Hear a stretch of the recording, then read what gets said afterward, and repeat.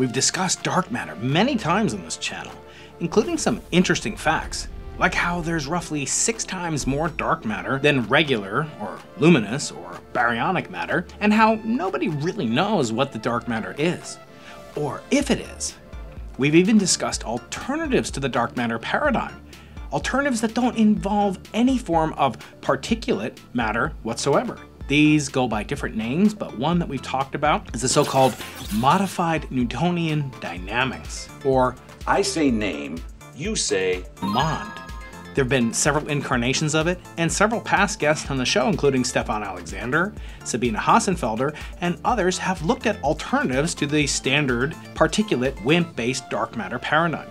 What you've probably gotten a sense from, if you've watched those videos, is why astronomers are so interested in dark matter. Or perhaps what's most fascinating is how astronomers figured out that it even exists in the first place. And now, it turns out what we thought we knew about dark matter and how it helped shape the early universe may be wrong altogether. As you know, I'm an experimental physicist. I like doing experiments in the lab or at the observatory. But now I'm going to ask you to do a thought experiment. You could do it in your kitchen if you so choose. If you happen to have a toddler or a graduate student around, they may help you for free. Now, what would happen if you took a glass of water and poured it on the ground right in front of you? Don't pour it on your computer. Some experiments are best left to the mind alone. Obviously, the water spreads outwards. There's nowhere for it to really conglomerate and accrete. Water spreads out such that it minimizes the energy, the potential energy surface, which would be basically a flat plane of water molecules, one molecule thick, if such a thing could happen. Now, way back when, in our early universe's first few minutes, the universe was a roiling, boiling, bubbling brew of plasma, of ordinary matter. And if dark matter exists, there'd be some dark matter in there as well. It's getting dark. Now, what caused the luminous matter, or the baryonic matter, to accrete to form the structures that we use to trace the properties of the universe today? What caused it to conglomerate and accrete in specific locations, say here, but not here? Why didn't all those particles spread out uniformly throughout the universe? If that had happened, we wouldn't even be here to ask a question about the characteristics of the early universe. There'd be nowhere for matter to form. And that matter needed to form in order to form stars, individual stars, and then individual galaxies, and eventually clusters of galaxies. So water, or any other fluid, flows in a way that minimizes their potential energy surface. It would work the same way if water were poured out, so to speak, in space.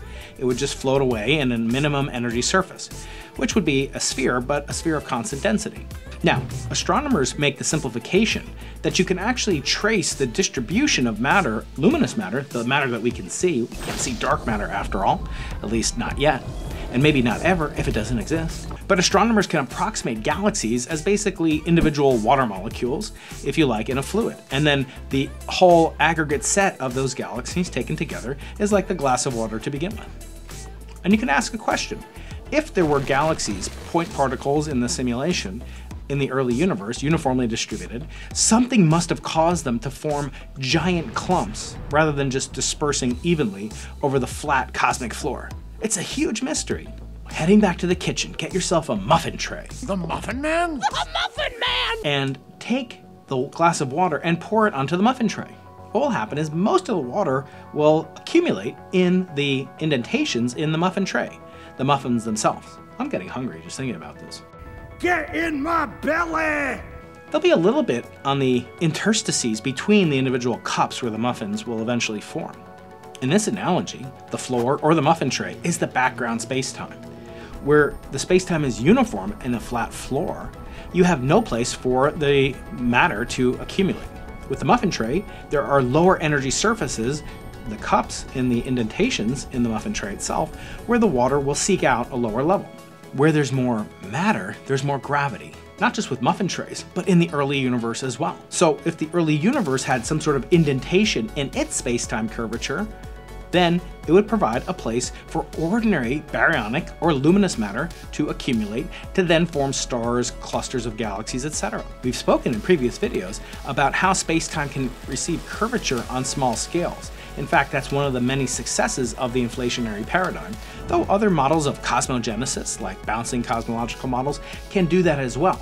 So cosmologists speak about curvature fluctuations, and where those curvature fluctuations come from is a matter of another mystery, but the fact that the curvature of space-time is tantamount to a gravitational force field is established in Einstein's equivalence principles. So once the curvature perturbations are established, there'll be a place for baryonic matter to form, and that will form where there was already dark matter accumulating earlier on in the universe's history.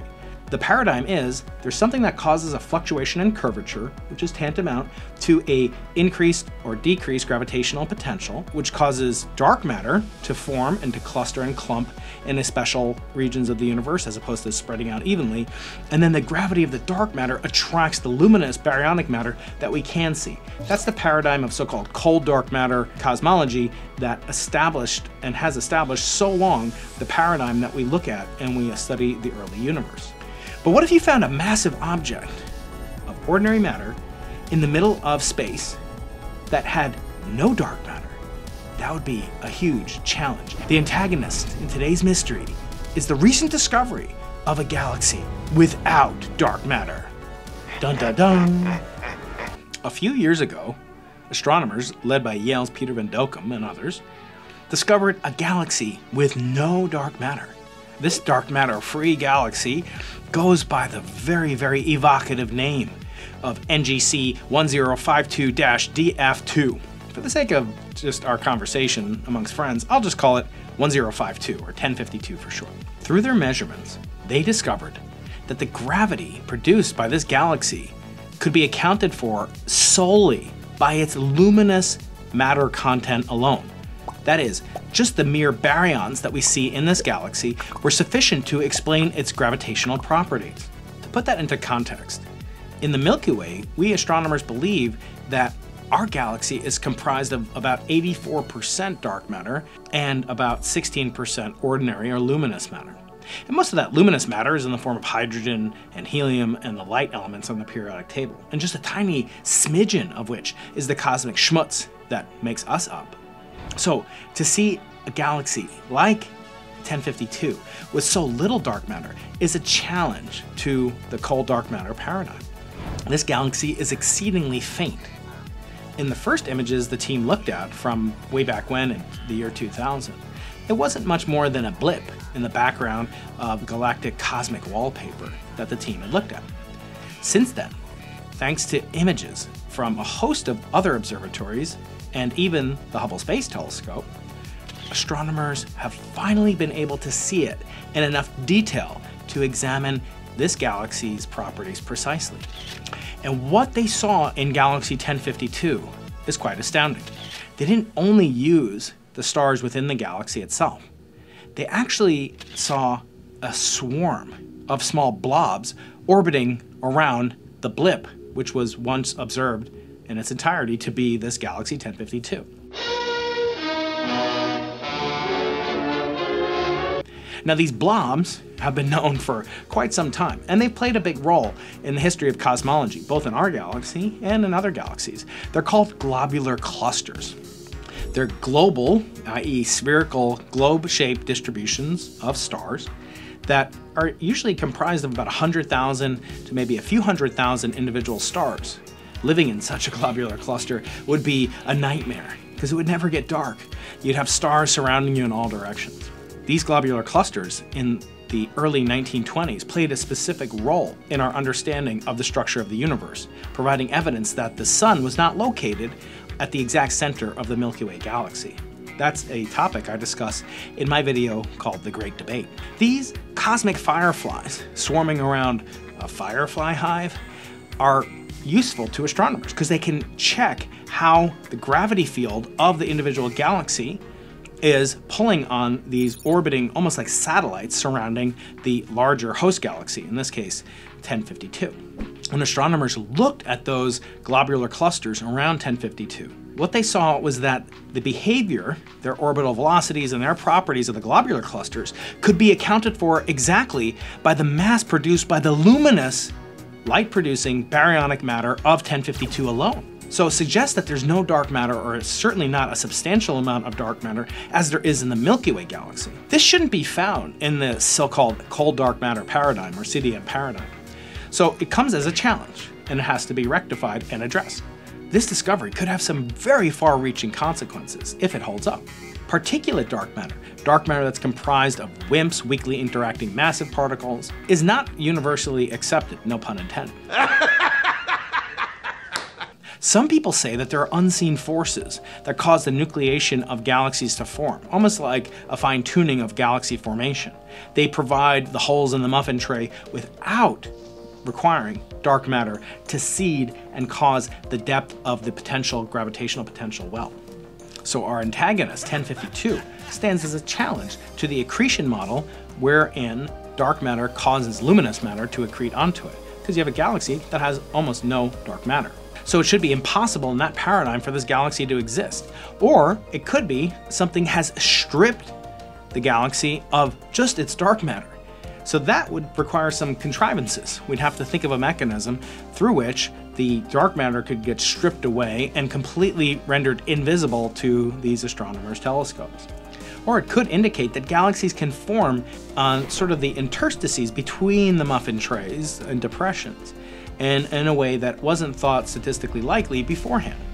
So, if dark matter is responsible for the formation of galaxies and clusters of galaxies, how did this galaxy get by without it? Of course, astronomers are incredibly creative, and there are many theories as to how this could occur, even in the CDM paradigm. Perhaps another galaxy stole a bunch of dark matter away from 1052, like a cosmic hamburglar stealing the muffin top buns. Or maybe this galaxy's current appearance is the result of a collision wherein a bunch of the ordinary matter in the galaxy got knocked away, forming sort of a mini galaxy devoid of any dark matter. Now, both of these theories have plenty of challenges in order to address them, and it's not known if 1052 got knocked away from its dark matter halo, so to speak, from a big galactic collision. If it did, there should be some scars, some shrapnel left over from the collision of two more massive galaxies. Perhaps a tail, a streamer of stars tracing back to the scene of the collision. The only thing we know for sure is that if we can get a better look at 1052, we'll get a much better idea of what's going on. Similar to how the first early ground-based telescopic images of it really only just revealed it as a tiny blip of light. And then the Hubble Space Telescope and larger ground-based telescopes revealed it in more and more detail. How did a galaxy seemingly emerge into existence without any dark matter to seed it? With the Webb telescope, astronomers could track the individual orbits of stars within the dark matterless galaxy, instead of just looking at the blobs, the globular clusters orbiting around it. Now, 1052 is hardly the only controversial adversarial antagonistic character in the dark matter dynamical story. In contradistinction to 1052, there's a galaxy called Dragonfly 44. It has a lot more dark matter in it than astronomers would have ever expected. Completely the opposite of 1052. As we discussed with Govert Schilling and his wonderful new book called The Elephant in the Universe 100 Years of Studying Dark Matter, link in the video description, as time progresses, we'll get more and better data on galaxies like these two outliers, and that will help us refine and understand the role and even the existence of particulate dark matter. Cosmologists are hungry for more data, waiting for the next breakthrough from futuristic surveys, and certainly we'll learn a lot more about dark matter as soon as these data come in. Until then, I'll pass the time by eating a muffin. If you like this video, I created a playlist just for you, all about dark matter, including my interviews with Govert Schilling, Moti Milgrom, and others. And if you'd like to watch a video about what astronomers already know about dark matter, from the only form of particulate dark matter that we know for sure exists, the neutrino, click on this video. And don't forget to subscribe.